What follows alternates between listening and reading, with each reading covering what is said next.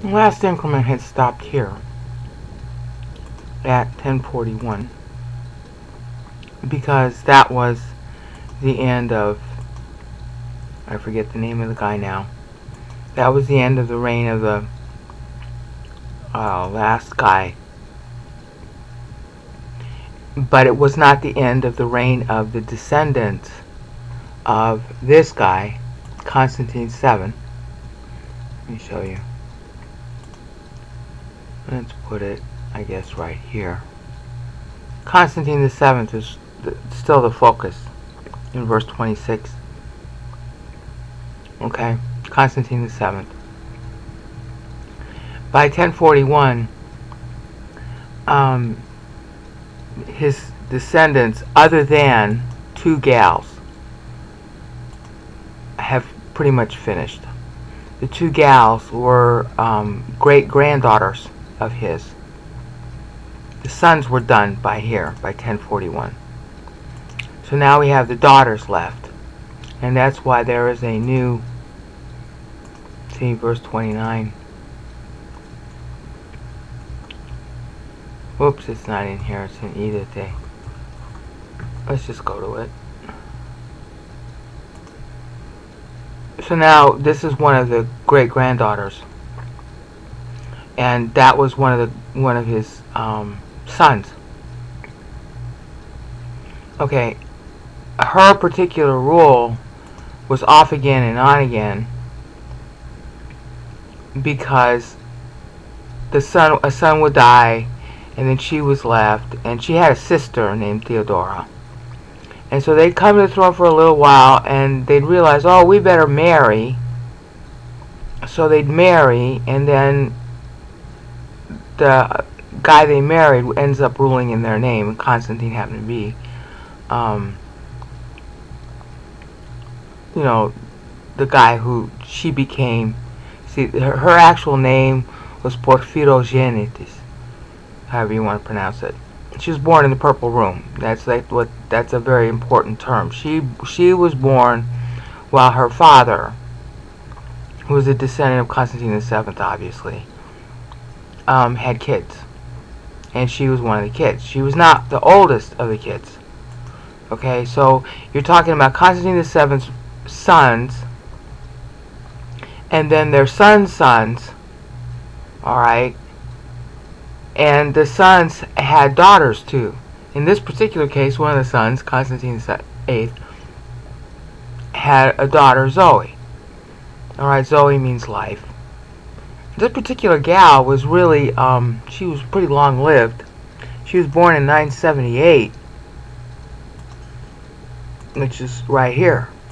Okay, so she was she she was um, born after our boy died. Okay. So he didn't get to see that he have daughters too. And she's born right about here. Means really kind of egg tone test. And it's kind of funny here, and I'm not going to spend time on it because there were four kids um, involved in this. But the, the point I want to get at is that starting here, the boys are dead. So now it's up to the girls. And the girls, who are great grandkids at this time, including Zoe, are her and her sister Theodora. And I don't understand why, but they were very popular with the people. Zoe and Theodora hated each other. And they were trotted in and out and in and out of power. Depending on who they married. But with the people, they remained popular. So on occasion, these women, at least Zoe did, married several times. On occasion, the person that she married wanted to just throw her away and tried to do that and the people rejected it. Okay, so they, he had to bring her back out. She ends up living till 1050. So she's like 78 years old when she dies. So that's why this text is focusing on this because her, her sister, Theodora, dies six years later. So that's right here. So both so the whole line of Constantine VII. Basically lasted four generations, four generation curse, and is dead at this point. Now, in the meanwhile, there were lesser kids who were married off to other rulers or married off to other nobles in the empire. And at the same time, one of the good things about this period is that there was a rise of a, a fair amount of military competence to keep out the Arabs. And increasingly to keep out the Normans, because at this point, and it started earlier, it started under Constantine VII. Um,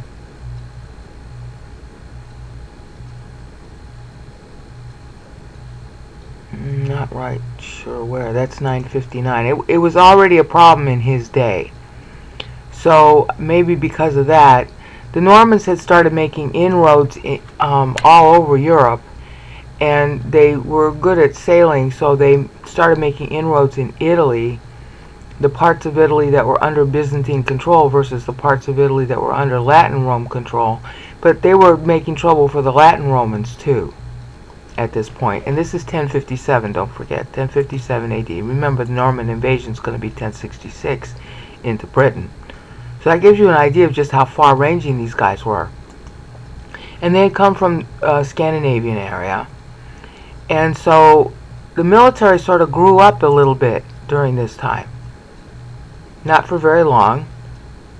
But by the time the, you know, Theodora, who dies right at the end here, by the time Theodora dies,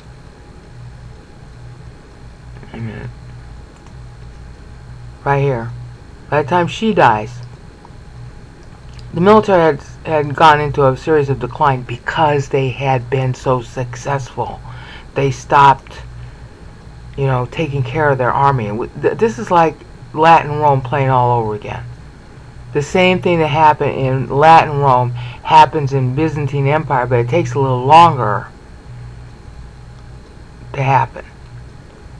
So here we're at 1057 AD, and at this point, the empire has started to markedly decline. After the sons die, the military rulers are the military guys are still good, and they marry Zoe. Okay, and they marry more than one and they marry Theodora, or I'm not sure if Theodora got married, but she she used them. They used them as lovers, or they used them as um, advisors, or they married them.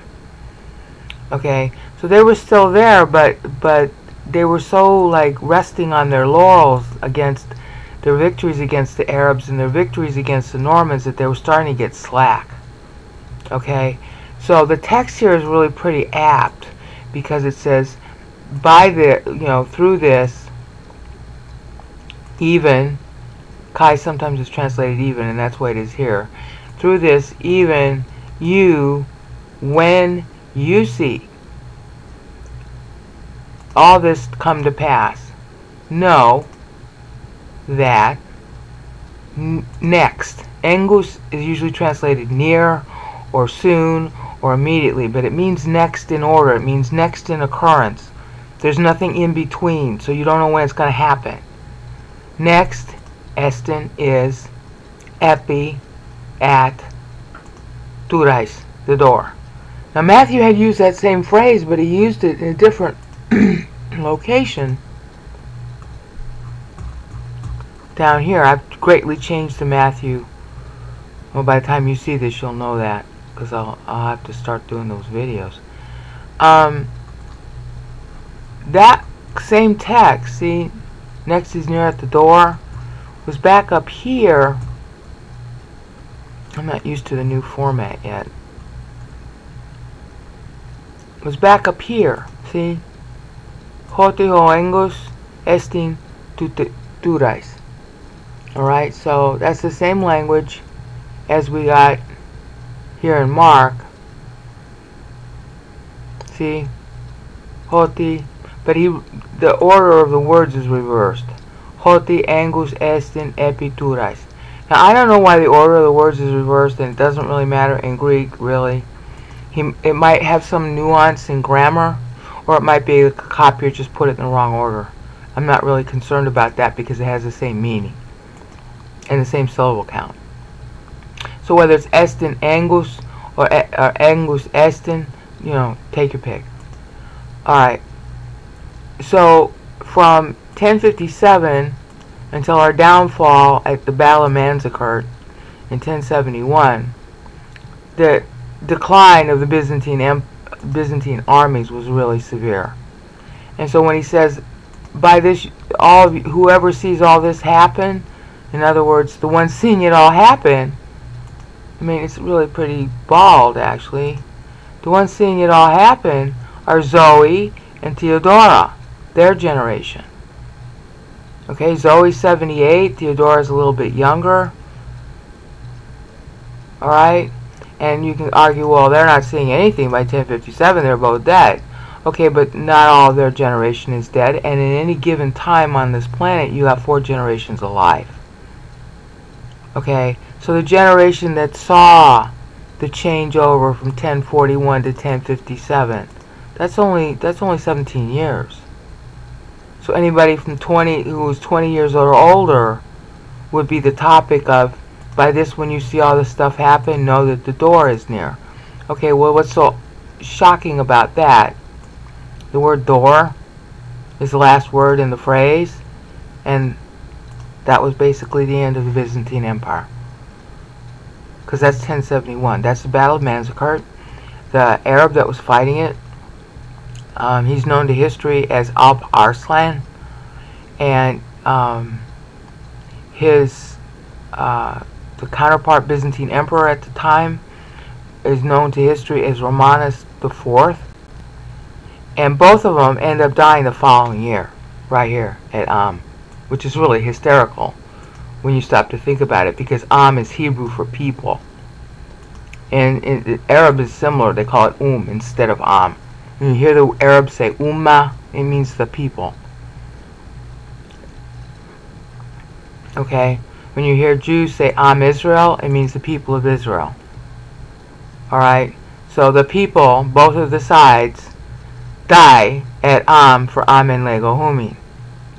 Okay, that's 1072. They both died same year. They were pretty honorable with each other. There was a certain amount of money that Alp, Alp Arslan demanded in, as you know a payment so I wouldn't sack Constantinople. And Romanus IV promised he would do it. He no sooner gets home than they, he's been deposed. They blind him. Um, they make him go, of course, to a monastery, their typical punishment. But before they manage to do that, once he realizes what's going on as soon as he gets home, he, he realizes he can't get the money that he promised to pay Alp Arslan, so he goes into his own personal coffers and he takes as much as he's got and he manages to send it to Alp Arslan with an apology, saying, Hi, I've been deposed, this is as much as I have. Thank you for being so kind. And then they blind him and then and and um, put him in a monastery. And the way they blinded him was so brutal that he dies of the wounds in the following year. Alp Arslan gets sick the following year. I, I didn't watch to see if they both die near the, nearly the same month or day, but Alp Arslan gets sick the following year. Now I hope you get a message out of that. All these people who think they're the movers and shakers of history, they're just cannon fodder. If you don't get with Christ, God's going to use you anyhow.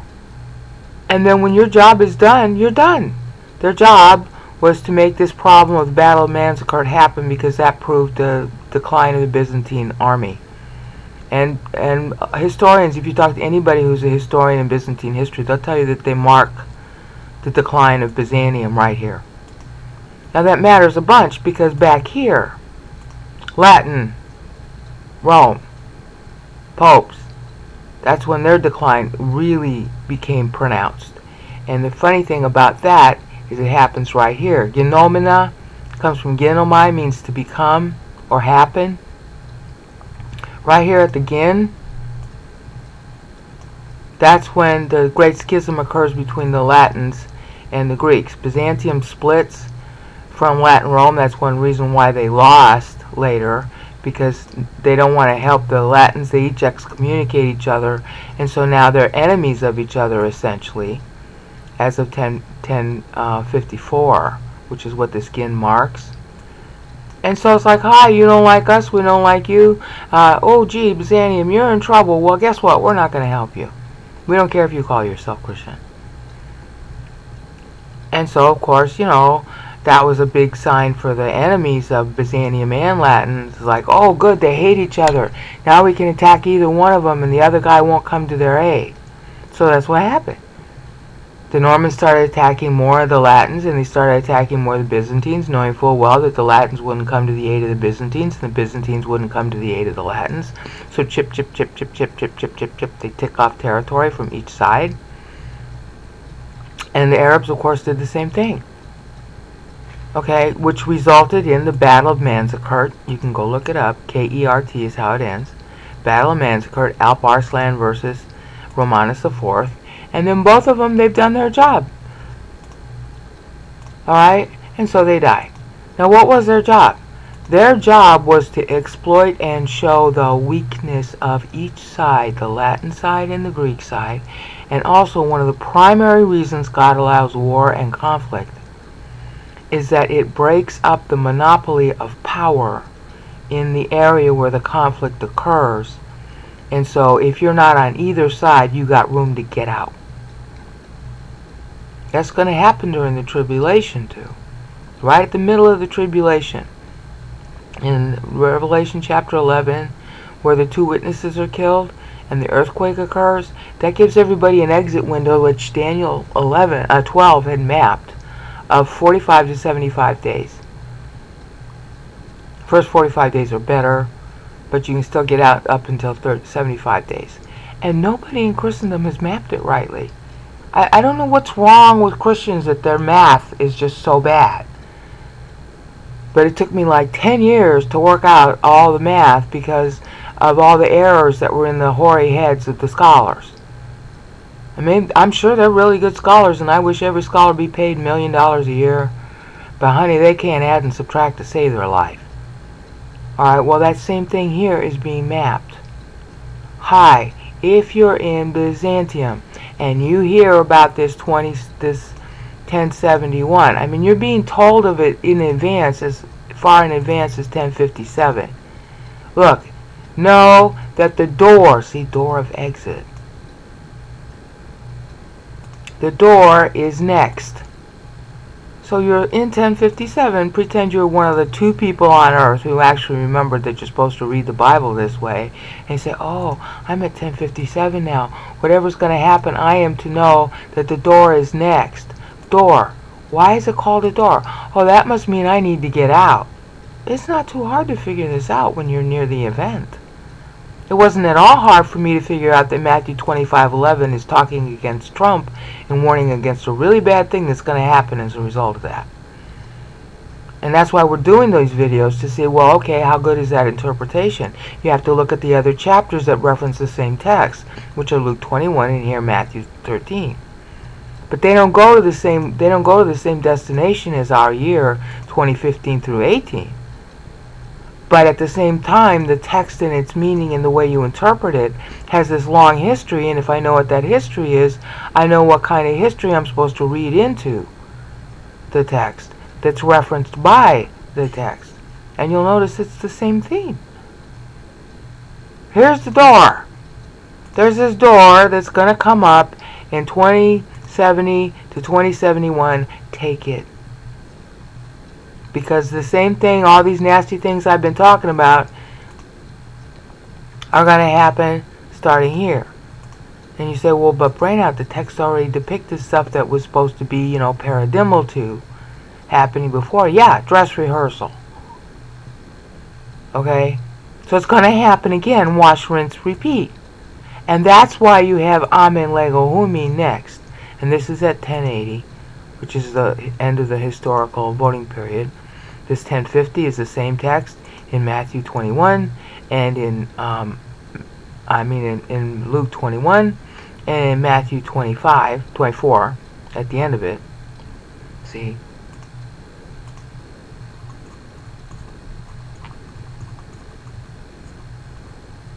See right here.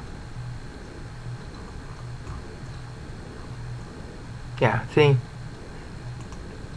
Mark doesn't play on 1036, but he does play on 1051 and 1071 right here. See? So he's balancing to Matthew, just like Luke balanced to Matthew. So there's your big clue. Matthew's the first gospel. Duh. Alright, so then what we've basically seen is that the, the, the, two, the two gals, the two gals, I don't know why when I come back to the window it screws up. The two gals, Zoe and Theodora, were the last of the line for Constantine's, you know, progeny, you know, eh, in ruling progeny, okay? So that kind of means that it's a four-generation curse and at the same time, it means that something was good about Constantine that he'd even have four generations because Constant, um, uh, Constantine the seventh, because the first Constantine did not. The first Constantine's kids couldn't have kids, largely. One of them finally did, and then their gr the granddaughter uh, either didn't have kids or died or something bad happened to her. I think maybe there were two granddaughters and it didn't turn out. They didn't end up going to even three generations, those kids. Whereas Constantine's kids go to, at least the fourth generation, and there are more kids, but they aren't rulers. They aren't eligible to be rulers. They were married off to noblemen or this or that or the other thing. And from this point on, starting with Romanus IV, um, they don't really get back in power. It's the end of their dynasty. And you can just look that up on the internet. I mean, that's how I learned it. I was trying to figure out, well, what's the significance of saying, you know, that both of the daughters died here? Well, because it's the end of the line. And next thing that happens is another guy, Romanus IV, who's not at all related to them. Um, he ends up taking over, and he he himself was a really good military man. But he didn't do his homework when it came to the readiness of his forces, and that's why he lost at the Battle of Manzikert to Alp Arslan. Alp Arslan then and him both died the following year. Their job is done. Byzantine has been shown up for the weak peach that it is, you know. And um, the guy who's the son of Alp Arslan ends up getting into a cattywampus with his uncle, who tried to take over after Alp Arslan during the same time and that guy's name was Malik Shah, and he will end up through one of his emirs taking over Jerusalem in 1093. Uh, I mean 1073, which is right here. Okay, that's 1072, 73. So Ain, which is hysterical that, that that's the syllable that God would use, because Ain in um, Greek also means being. Okay, from the verb aimi, to be. Okay, and it's famously used by John in as in uh, John 1 the Lord always is always will be and it's the Lord that's talking here so it's kind of funny. So his territory Israel is being overrun by an Arab Malik Shah at the same time. So you get a lot of meaning out of that if you knew how to read the meter in that year alright so all that stuff is going on. Now from this point forward therefore the Byzantine Empire is effectively in a state of decline.